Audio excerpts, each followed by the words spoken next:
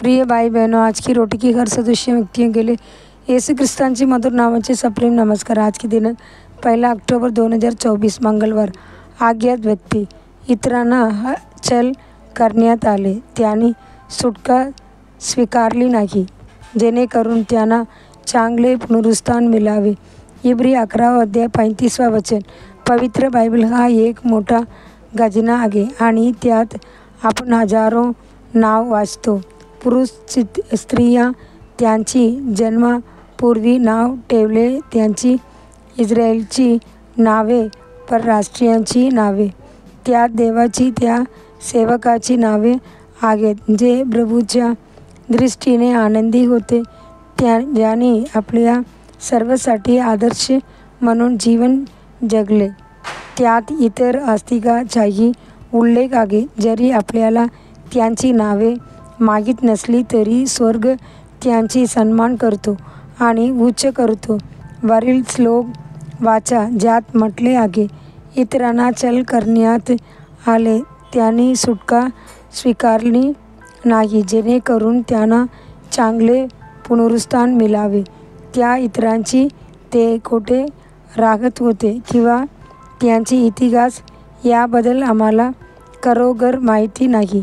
पण त्यांना मकान पुनरुस्थानाचे ज्ञान होते. दुःख सहन करण्याची त्यांची श्रद्धा होती. त्यांना संसारिक जीवनानंतर साक्षात राज्याची आशा होती. त्याने त्यांची शर्यत यशस्वीरित्या पूर्ण केली होती आणि ते तेजस्वी पुनरुस्थानाची आर आतुरतेने वाट पाहत होते. तेजस्वी पुनरुस्थान काय आहे? ख्रिस्तासारखे पुनरुस्थान हे गौरवशाली पुनरुस्थान आहे. पवित्र शास्त्र म्हणते लिगा आतापासून प्रभूमध्ये मरणारे मेलेले धन्य प्रकटीकरण चौदा अध्याय तेरावा वचन. इब्रीमध्ये अध्याय अकरा देवाची सतरा संतांची नावे आहेत.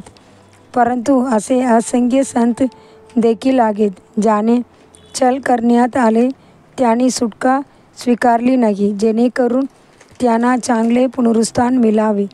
आज जरी आपल्याला त्यांची नावे माहीत नसली तरी आनंदकाल माहीत आहे.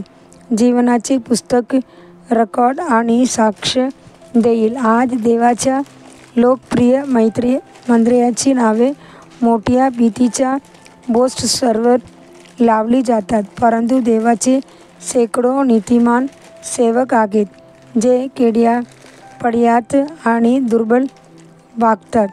त्यांची विश्वासूपणे आणि प्रामाणिकपणे सेवा करतात. जग त्याने ओळखत नाही पण स्वर्ग त्याने ओळखते आणि उच्च करते. बरेच लोक देवाचे गरीब सेवक मानत नाहीत. परमेश्वराने असे म्हटले नाही की या तोरापैकी एकाचे तू माझ्याशी काय केलेस? तर तो म्हणाला या लगांपैकी एकाचे तू माझ्याशी काय केलेस? देवाची मुलांनो ख्रिस्तामध्ये स्वतःला लपवा जेणेकरून प्रभू आणि स्वर्ग तुमचा सन्मान करतील. घोषित करा मी कमी होणे आवश्यक आहे आणि ख्रिस्ताने वाढले पाहिजे. पुढील चिंतनासाठी श्लोक.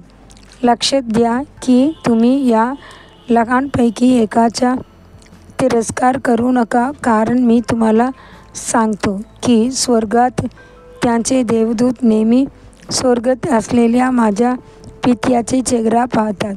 मॅथ्यू अठरावा अध्याय दहावा वचन. दिवसासाठी बायबल वचन.